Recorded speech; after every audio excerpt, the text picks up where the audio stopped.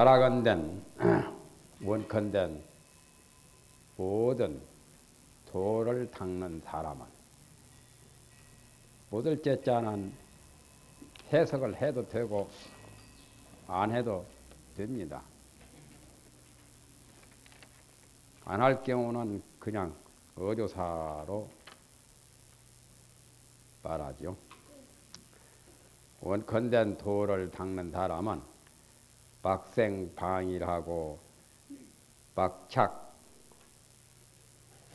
탐욕하고 탐험 부도라고 어, 도가 없는 짓을 하는 것이 부도한 짓을 하는 것을 탐험이라고 합니다. 탐내거나 또는 어, 음란한 그런데 집착을 하지 말란 말이죠. 막생 방이라고 방위를 대지 말고 막착 탐험 방일이라는 방탕한 것을 방일이라고 말합니다. 이럴 때는 편안할 일자가 또, 또 놓을 일자죠. 마음을 어, 그냥 마구제비로 방심하는 거죠. 방심하고 방탕한 것을 방일이라고 말합니다. 방일한 그 생각을 내지 말고 탐험에 집착하지 말고 여구 두연하야 불망조고 어다 머리에 불타는 것을 구하는 것 같이 하여 조고를 잊지 말지어다. 불탈 연자는 그래 연자를 불탈 연자라도 하지만은 원칙적으로는 불화변에 그래 연자 하는 게 원칙이죠. 그래 연자도 불탈 연자로도 통하기는 통합니다. 통용을 해요. 그러나 원칙적으로는 어, 이런 글자라야 되지요. 이것도 불탈 연자인데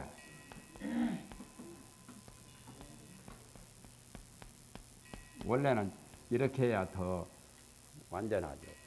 여구 두연이라 머리에 불 붙을 때 뜨거워서 당장에 불 끌려고 하지 오래오래 시간을 두고 머뭇거리지 않아죠. 머리에 불이 붙었다면 발등에 불이 붙거나 머리에 불이 붙을 경우에 빨리 구원하려고 불을 끌려고 그런 마음을 가지니까 그와 같이 공부도 그야말로 참 머리에 불타는 것을 구원하는 것처럼 구원한다는 말은 불 끄는 거죠. 그와 같이 하여 불망 조고 어다 조고를 어, 돌아보는 것을 잊지 말란 말이죠. 조고란 말은 자기의 마음자리를 돌이켜 보는 그것을 조고라고 말합니다. 조고한다. 반조한다는 그 말과 같은 말이죠. 번역은 비추어 살핌을 잊지 말라 했네요. 이런 말이 있어요. 조고 각하라. 각하를 조고하라.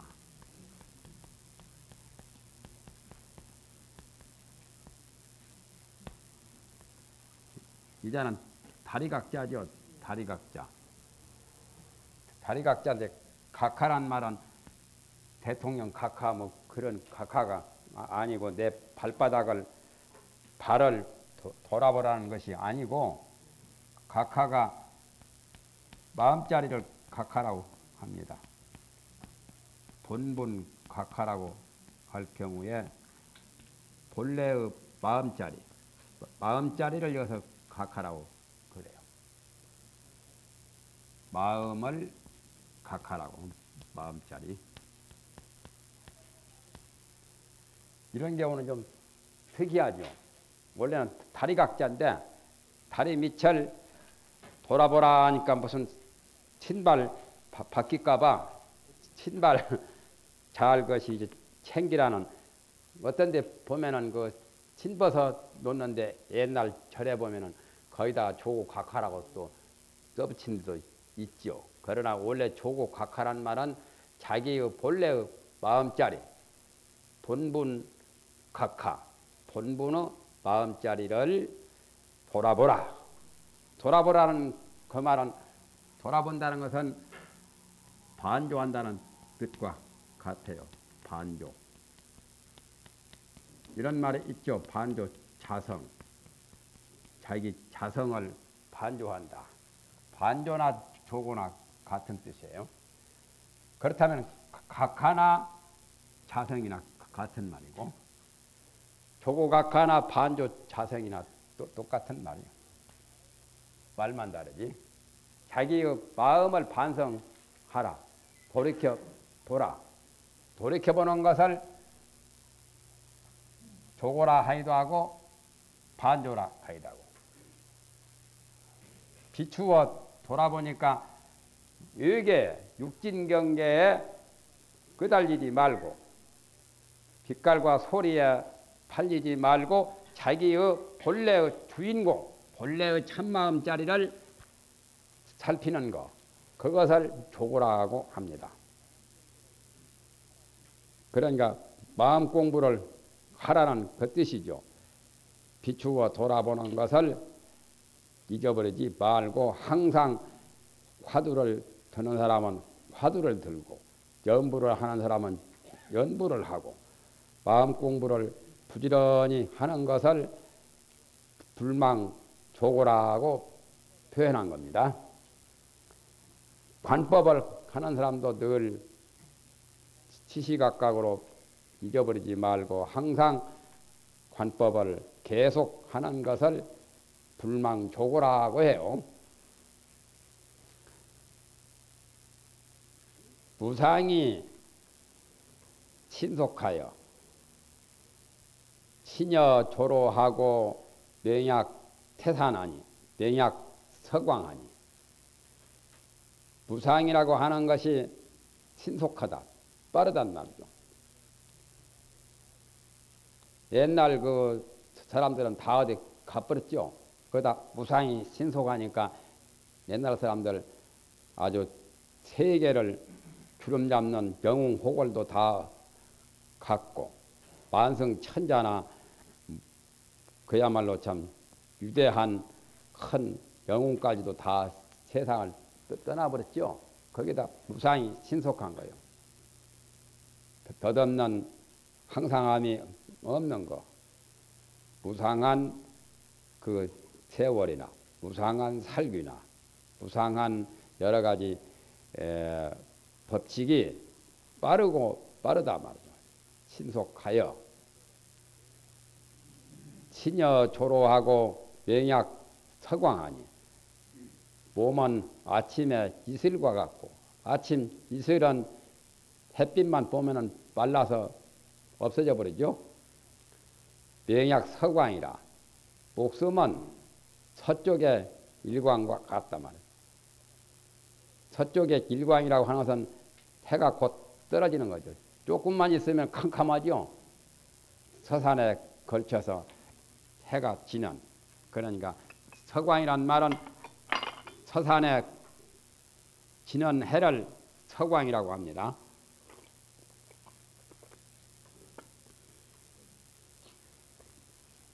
그래서 불교에서 삼법린을 말하죠.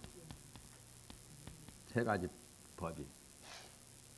제일 처음이 재행무상을 말했죠. 소승불교에서 이걸 제일로 주장한 겁니다. 재행무상. 이야기 쉬운 것부터 말한 거예요. 재행무상은 이야기가 쉽죠. 모든 행은 무상하다. 무상하다는 말은 허무하다는 뜻이죠. 허무함 또는 변함, 자꾸 변하죠. 또 덧없음 이런 뜻을 무상이라고 하지요. 무상이란 말은 진실성이 없는 거죠. 시시각각으로 변천하는 거. 그래서 재행이 무상이라. 모든 행은 열반경 탁국에도 재행이 무상 시 생멸법 나오죠. 모든 행은 무상하다. 여기서 행이라고 하는 것은 무엇을 가리킨지 아시겠죠? 행. 행이라고 하는 것이 여러 가지입니다. 수상행식도 행이요. 오원 가운데 색수상행식 12년에 무명행식 그것도 행이고 그런데 이 행이란 말은 여러 가지 그 심행 같은 거 마음을 심행이라고도 하지요. 또 여러 가지 그 심행 위에도 어, 유행하는 거, 현행하는 거, 발행하는 거, 이거 다 모두 행들이죠. 또 법도 법행이라고 합니다. 법행.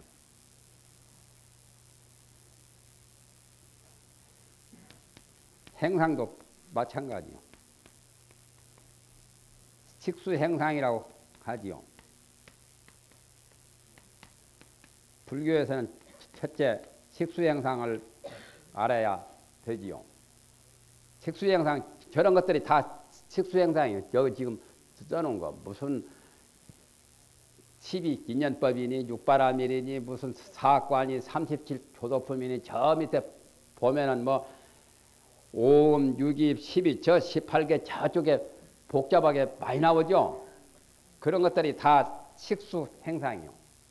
안식, 이식, 비식, 설식, 신식, 말라식, 제팔식 그런 것들 그것을 식이라고 하죠. 우리 인식의 주체가 한 가지만이 아니고 여러 가지가 있기 때문에 수라고 한 거예요. 숫자는 그래서 식수나 신수나 같은 말이에요. 불교 수어로 신수라 하이다. 이건 숫자 숫자죠. 수학이라고 하는 심수나 십수나 마음도 여러 가지 8만 4천 번호가 있잖아요. 희노애락, 애호욕, 칠정, 오욕 같은 게 다 마음에서 우러나죠. 마음의 복잡 다단한 여러 가지를 심수라 하기도 하고 식수라 하기도 하고 그런 줄거리 그런 길과 모습을 행상이라고 그래요. 유식론 같은 데는 특수 행상이 많이 나오죠. 오이 백법 같은 거. 그런 행상도 역시 행이라요. 여기서 행이란 말은 흘러가는 존재들. 시간도 행입니다. 시간도 행이고 우리 이런 말도 있죠. 의명 오행. 그것도 행이라요. 의명 오행 수학 금목토 또는 돈도 은행이니 그런 것도 행은 행이죠. 시절도 유행 따라서 변하는 그것도 그런 유행도 역시 행이고 시간도 행이죠. 마음이 흘러가는 것도 유행이고 시간의 변천에 따라서 흘러가는 것도 유행이죠. 유행 따라 변하지 않아요. 유행이 잘못된 유행도 많아요. 옛날에 예를 들면은 하나 의복에 대해서도 이 양복 주봉 밑에 이렇게 접어가지고 이렇게 해가지고 옛날에 유행이 되었었죠. 그러니까 먼지가 이리 다 들어가요 이렇게 이러면 먼지가 들어가서 별로 좋지 못하잖아요. 그런데 몇 년 전에는 또 이제 그것이 바뀌어가지고 이 속으로 집어버렸죠. 그게 좋은 거예요. 좋은 건데 또 요즘은 이제 옛날과 똑같이 양복 주봉을 위에다 이렇게 해가지고 요 먼지가 막 들어가게 말이에요. 좋은 것은 좋은 것은 따라야 되지만 나쁜 것도 또 이제 다시 유행을 하잖아요. 그것은 유생적으로 대단히 안 좋거든. 지금 청소년들 바지가랑이가 이마지야 땅바닥이 질질 끄고 무슨 뱀이 것이 땅바닥 스쳐가는 것처럼 말이에요. 그러면서 자기 침대 위에 가서 잘 건가 말이에요. 더러운 거, 더러운 거, 불결한 거, 이 바지가랑이 밑에다 뭐 길게 해가지고 무슨 미달 빠진 닭같이 말이에요. 그런 유행은 별로 안 좋잖아요. 유행이 좋은 것도 있지만 나쁜 것도 있거든. 그런 것들이 다 유행이라요.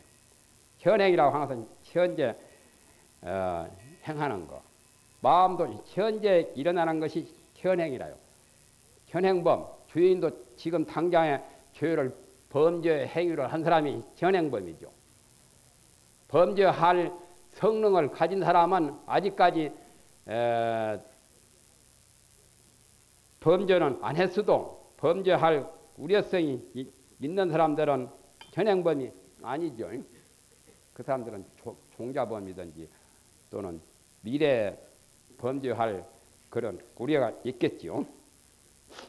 현행, 발행하는 것도 행위고 은행에서 발행하든지 무슨 법원에서 뭘 발행하든지 발행하는 그런 행들이라요. 그런 행위 모두 다 무상하다. 마음이나 시간이나 흐르는 모든 법칙이 우주 법칙이 다 재행이라요. 재행은 무상하다. 그거 틀림없는 사실 아니요. 부처님은 설법 아니더라도 우리가 그건 이해하기 쉽지 않아요. 시간적으로 허무하고 더덥고 변하는 것은 그건 부정할 수 없는 사실 아니요. 재행무상이 바로 고집과 같은 내용이라요. 고집별도 할 때. 그 다음에 가서 두 번째 가서는 좀 어려워요, 이제. 삼법인이 처음에는 쉬어도 나중에 가면 좀 어려운 걸 말해요. 처음에는 쉬운 것 말하지만 두 번째만 해도 상당히 어렵잖아요. 제법이 무화라. 우리는 무화라라는 그 인식을 제대로 하기가 어렵잖아요. 부처님의 설법을 통해서 공자나 맹자나 노자나 장자나 그런 성인들의 그런 교훈을 통해서 무화의 도리를 어렴풋이 무화라고 하니까 무화인 줄 알지 실제는 무화를 내 마음을 통해서 체험하지는 못하잖아요. 그러나 깊이 깊이 살펴본다면 따지고 본다면 모든 법은 무하다 나라고 하는 게 없어. 분필도 내가 분필이라 하지를 않아요. 해가 비추면서 내가 지구를 다 비춘다는 게 없어. 또 우리 중생들이 나라고 아집을 내지만은 실제는 중생들이 나라고 착각했던 아집은 본래 없다는 거예요. 이 몸을 나라고 하지만은 이 몸이 본래 있었던 건 아니죠. 70년 전에 없었죠. 또 앞으로 70년이나 80년 후에도 없을 것은 뻔하지 않아요. 그러니까 나라고 할 게 없는 건데 중생들이 뱀이 될 때는 뱀 몸을 나라고 가르치고 고양이가 됐을 때는 고양이 몸을 나라고 했을 거고 쥐가 됐을 때는 쥐 몸을 나라고 했지만은 나라고 할 게 없다는 거예요. 험한 거라면 그것도 재행무상과 마찬가지로 모든 법이 나라고 고집하는 아집성은 본래 없단 말이에요. 그래서 무화를 주장하죠. 소승불교에서 무화의 도리만 철저하게 깨달아도 아라한이 되는 거예요. 삼독 번뇌를 벗어나요. 탐진치 삼독. 아집으로 말미암아 탐진치 삼독을 일으키지 않아요. 무화가 된다면 욕심 부를 것도 없고 죄를 지을 것도 없는 것이고 어, 덕내거나 뭐 어리석은 짓을 할 것이 없잖아요. 그래서 두 번째는 좀 어렵잖아요. 제법이 무가요. 모든 법은 나라고 하는 게 없다 말. 그걸 깨우쳐야 앉아 성자가 되지요. 세 번째는 또 더 어려워요. 세 번째 가서는 이제 불교 진리 열반 적정 이거 알기 또 어렵지 않아요. 열반은 고요하다. 날반인데 불교에서는 열반이라고 합니다. 열반이란 말은 생사 해탈, 지극히 고요한 자리, 열반 적정이라. 그래서 여다 인자를 붙여가지고 재행, 무상님, 제법, 무화임, 열반, 적정님. 열반이라고 하는 것은 무화를 통해서 정말 본래 진리를 터득해서 마음이 피고 고요한 자리, 피고 고요한 자리를 깨달을 때 열반 적정인을 얻게 돼. 열반. 고집멸도나 같은 말이요. 앞에 것은 고집이고 뒤에 것은 어, 멸도고. 예? 그러니까 소성불교에서 사제법이 제일 구체적으로 잘 되었어요. 앞에 고집은 세속법이고 세간법이고 뒤에 멸도는 출세간법이고 12년은 전부 다 세간법이죠. 안 좋은 것만 다 나왔죠. 12가지가. 예? 육바람이는 다 좋은 것만 출세간법 제일 좋은 것만 나왔지. 사제법은 좋은 것, 좋은 출세간법 또는 나쁜 세간법. 나쁜 세간법은 괴로움과 쌓임. 괴로움이 여러 가지 그 고통이 업과 번뇌로 말미암아 생겼다 해서 업과 번뇌를 쌓임이라고 하지요. 쌓일 집자, 고집이라는 집자. 그래서 고집멸도 사제가 세간법, 출세간법을 다 잘 밝혔어요. 이건 세간법이죠.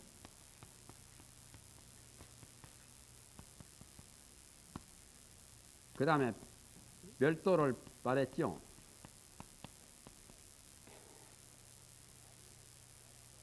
원인을 나중에 말하고 결과부터 먼저 말한 거요. 이 두 가지는 출세간법, 속세를 벗어난 것.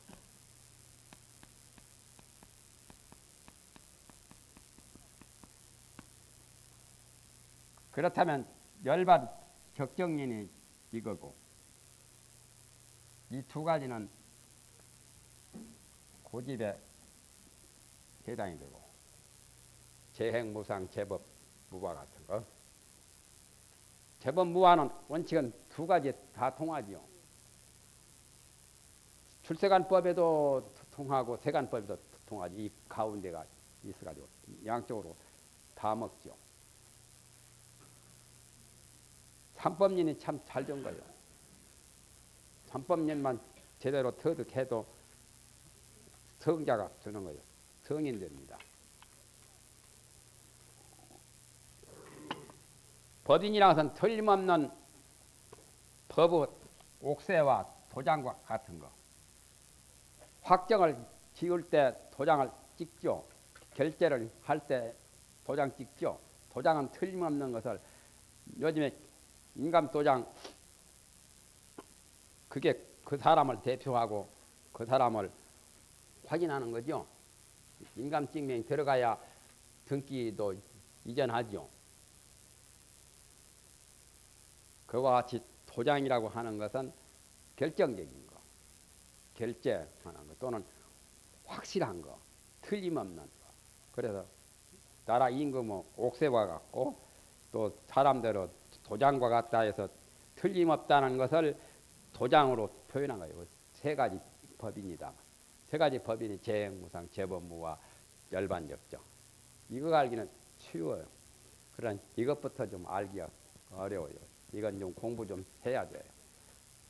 무화는 그래도 이해하기 쉬운데 이걸 또 더 어렵죠. 열반이 고요하다니 고요한 열반이 뭔고 말이죠. 우리는 한시 반시라도 고요한 열반을 지금 체험을 못하고 있죠. 마음이 항상 어지럽고 복잡하고 시끌사끌하고 마음이 상당히 들뜨고 마음에 어, 요란이 노동이 많죠. 고요하지 않지요. 그렇기 때문에 열반 고요한 고요한 그 열반 적정인을 사실상은 모르고 있죠.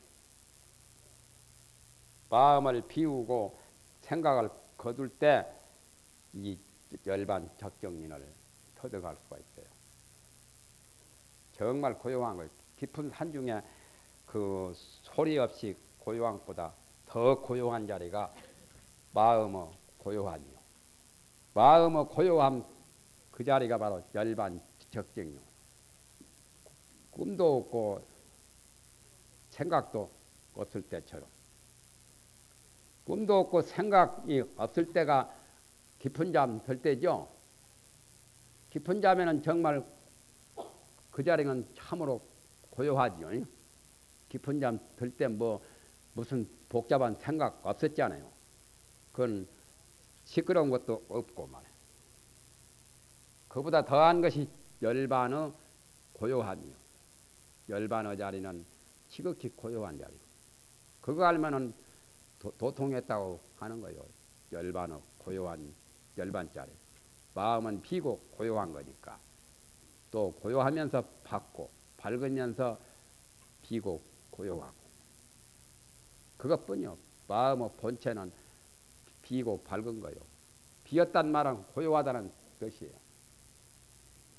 허정이라 비고 고요하고 또 밝고 밝은 거.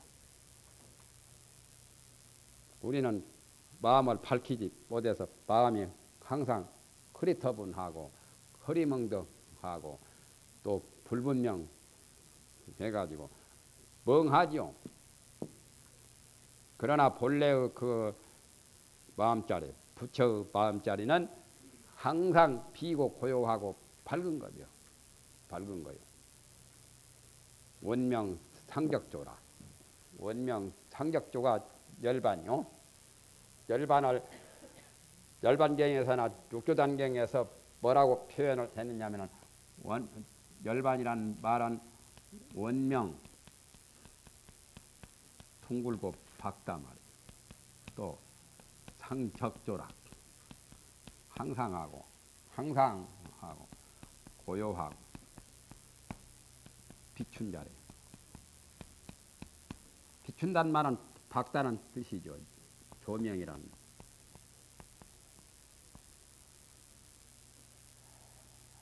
항상 고요하니까 적정이죠 이게. 육조단경에 무상 대열반 원명 상격조라고 나오죠.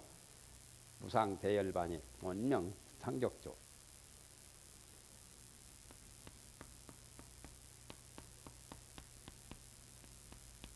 열반을 큰 대자를 놓아가지고 대열반이라고 했죠. 또는 무상이라는 또 관사를 더 붙이고 무상 대열반이 원명 상격조라 둥글고 태양처럼 둥글고 밝고 항상 고요하게 비추는 거예요. 고요하고 밝다는 말이에요. 육조단경에 나왔죠. 부상 대열반이 원명 상격조 언을 범우는 이기사하고 그걸 모르는 사람들은 범부와 어리석은 사람은 죽는 것이 열반인 줄 알아요. 죽는 사람 보고 열반했다고 하고 범부와 어리석은 사람은 죽었다고 말을 하고 죽는 것이 열반인 줄 안단 말이에요. 죽으면은 참 세상 끝자이니까 고요하고 죽어서 모든 것이 다 끝맺음한 거. 또 외도는 집이도 아니라 범부와 어리석은 사람은 죽는 것으로 알고 외도 이단어 이단어 도를 다른 힌두교나 바라문교 모두 그런 외도들은 열반이 없어지는 걸로 지비단하며 없어지는 걸로 고집해서 여긴다. 여긴 하유자를 여긴다. 이건 단멸.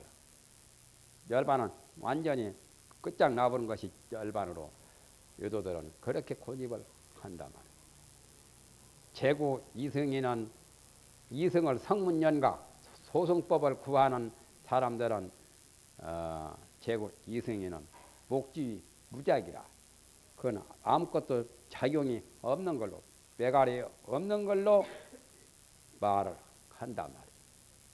그것은 다 진속 정석이라 다 감정으로 잘못 생각한 것이다. 그건 62견의 근본이다. 62가지 소견을 일으키는 쓸데없는 맞지 않는 부질없는 소견의 근본이라고 욕주단경에 나오죠. 기억나죠? 이거 오래돼서 기억이 잘 안 나죠. 예?